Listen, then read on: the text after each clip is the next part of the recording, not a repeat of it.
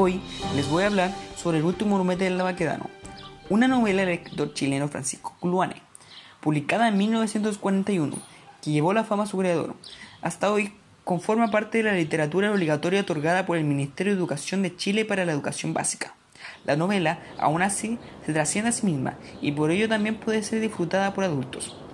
Un año antes de su publicación había ganado un concurso de novelas infantiles organizada por la Sociedad de Escritores de Chile y patrocinado por la editorial Zigzag, y fue llevada al cine como el último grumete por el director Jorge López en 1983. El protagonista principal de la obra, Alejandro Silvas Cáceres, era el segundo hijo de una madre viuda, que para solventar las necesidades de su humilde hogar, lavaba y planchaba las ropas de drill y paño de los marinos, cuyos oficiales lucían uniformes blancos y camisas de cuello almidonados los días domingos. Alejandro, hasta antes de embarcarse clandestinamente en la Baquedano, era alumno aplicado en la escuela primaria y liceo. Estudió con la obsesión de ingresar algún día a la escuela de grumete de la Armada. Quería ser marino a cualquier precio.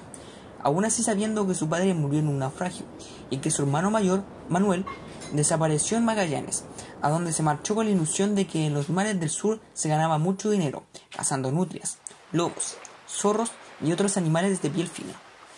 De los 301 hombres que estaban a bordo del Abaquedano, el último tripulante era Alejandro Silva Cáceres, oriundo de Talcahuano, quien escondió en el peñol de la proa, inició la mayor aventura de su vida, luego de haber tomado la decisión de despedirse por medio de una carta de su madre y sus profesores de liceo, aunque tenían apenas 15 años, como el capitán de una de las novelas célebres de Julio Verne, poseía el espíritu valiente y sagaz de un marino dispuesto a enfrentar las avatares del destino.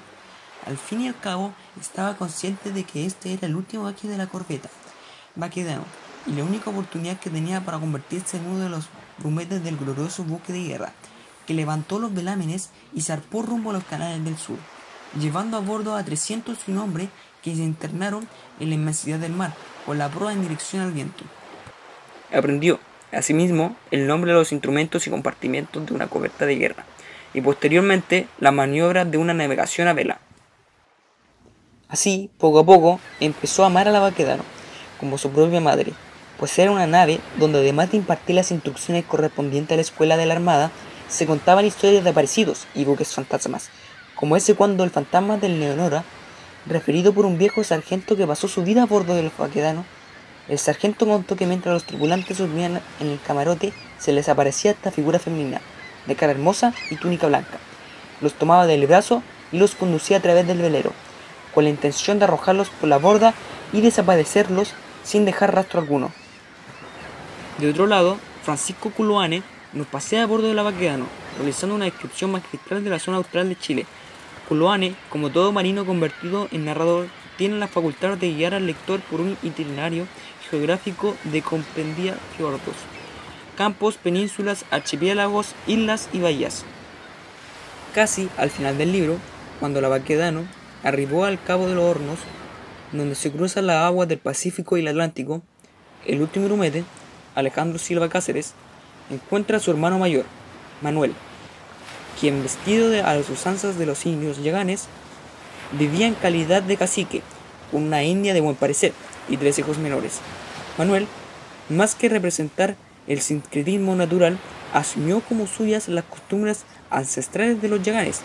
Quizás por eso, mientras contemplaba las aguas gélidas del mar, se les acercó a Alejandro y les dijo, los hombres somos como los témpanos, la vida nos da vuelta a veces y cambiamos.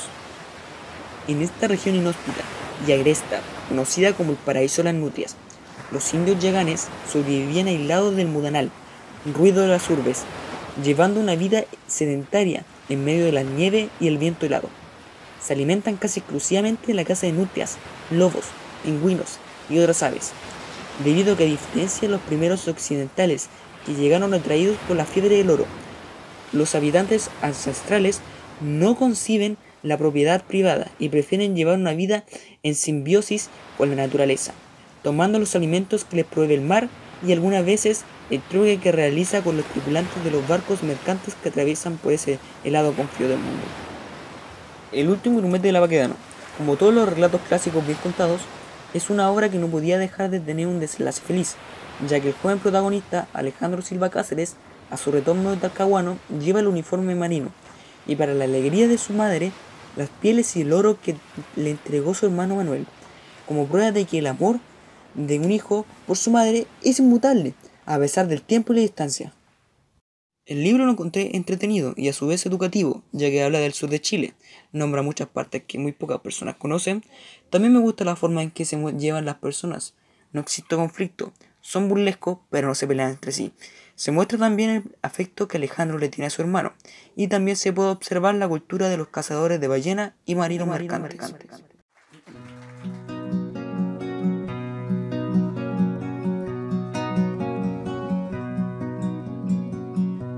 ¿Qué es lo que me está pasando? ¿Qué es la quietud perfecta? Todo empieza a temblar. Se remueven mis caminos, se hace trizos el retrato de mi infancia y su calor. Mi familia y mis amigos se me ponen frente a frente y solo me hacen pensar si al medio de esta tormenta nacerán las flores de un lugar azul e inmenso. Justificar mi ausencia no es más que pretexto de vida y aventura. Como oración sin leyes, en libertad inquieta, mi rostro se bañaba. Con el fulgor de las estrellas que cantan la mañana bien juntas con mis sueños. Todo estaba allí trenzado hasta que di el paso, hasta que tu amor Y si al cielo lo cambiaras por toda la realidad, sé que todo sería tan diferente. Ya que la fe que tú has puesto no se juega, no se tranza, ni por un solo momento. Es fogata que corre en tus venas, es quizá tiempo gastado. Es un sol que llevas dentro, primero y sin segundo, el amanecer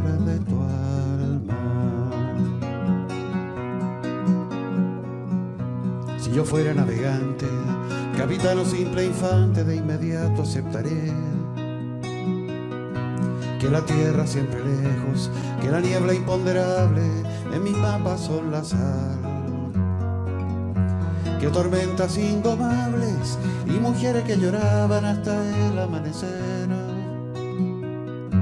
fueron por mi amigo hermano, su sonrisa amada, sus ojos de fuego si al cielo lo cambias por toda la realidad, sé que todo sería tan diferente. Ya que la fe que tú has puesto no se juega, no se tranza, ni por un solo momento. Es fogata que corre en tus venas, es quizá tiempo gastado.